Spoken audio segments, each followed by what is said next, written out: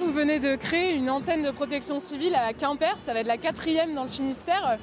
C'est vos, premières euh, vieilles charrues. Euh, Est-ce que c'est compliqué? À Quimper, euh, on est 8 secouristes engagés sur l'ensemble du festival et euh, on est dispatchés avec les autres équipes des autres départements engagés sur le, festival des vieilles charrues. On peut soigner une ampoule comme on peut intervenir sur des malaises ou des interventions beaucoup plus graves comme un arrêt cardiaque par exemple.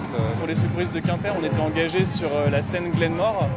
On a eu pas mal d'interventions euh, au moment de, du concert de Muse, donc beaucoup de malaises. Donc euh, on faisait la, la, les, évacuations à travers le, le, centre médical, le, le, poste médical en fait sur le, sur le site.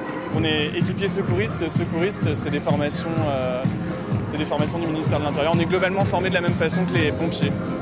On est 200 secouristes euh, engagés sur le festival et 25 euh, départements en tout sont engagés sur euh, le festival des Vieilles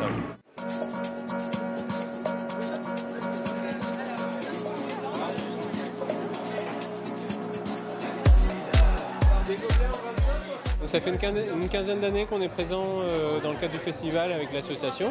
On est un peu plus d'une trentaine. La rétribution des associations euh, qui est versée par les Vieilles Charrues permet de mener des actions derrière euh, qui, sont, intéressantes. Donc ça permet aussi de, bah, de, mettre en œuvre une forme de redistribution par rapport au tissu local qui est intéressante.